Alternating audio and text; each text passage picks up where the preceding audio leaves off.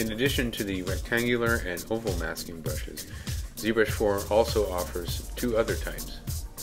These are the lasso and the curve masking brushes. The lasso brush should be familiar to most users of ZBrush. This allows you to draw freeform selections in the surface. In this case I have symmetry enabled and I'm just drawing a mask out using lasso. Holding the Alt and Control key together allows me to erase parts of the mask. Now I'm using the inflate deformer to inflate the unmasked parts of the surface. ZBrush 4 introduces the curve stroke type, which is entirely new. When I'm using the curve to mask, you'll see that one side of the line is shaded. This is indicating which side of the curve will become masked. If I hold the Alt key, the curve turns bright white, and you can see that I'm unmasking. Once again, it's the shaded side of the curve that indicates where the masking or the unmasking will occur. If I drag down from the top, you'll see that the shaded side is on the right side of the curve, so everything on that side will become masked. If I want to mask the left side, I'll simply start from the bottom and drag upwards.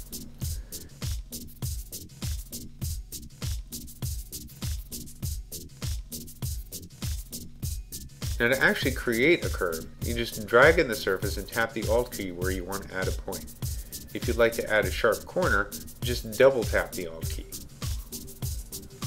So I'm drawing out a curve, and once again, it's the shaded side of the curve that will become masked. Okay, this allows me to create very precise shapes.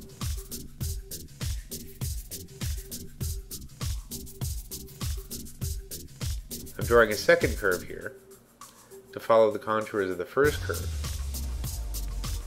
Once again, double tapping the Alt key wherever I want to create a sharp corner in the curve.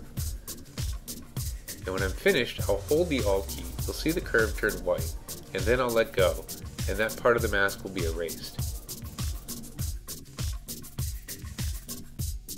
If I want to reposition the masking curve after I've drawn it, I'll just hold the space bar and then drag on the surface, and then I can position the curve anywhere I want. This allows for even more precision as to where I want to place the masks on my surface. Here you can see Geert Melis using this technique in combination with the curve clipping brush to make details in the front part of his mask.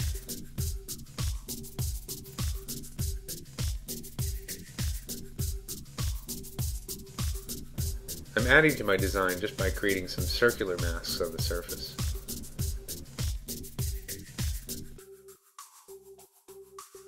It's not too hard to come up with something very creative in a very short amount of time.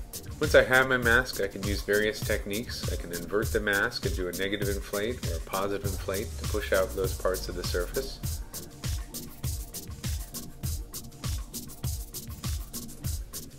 Another classic technique is to use a mesh extraction.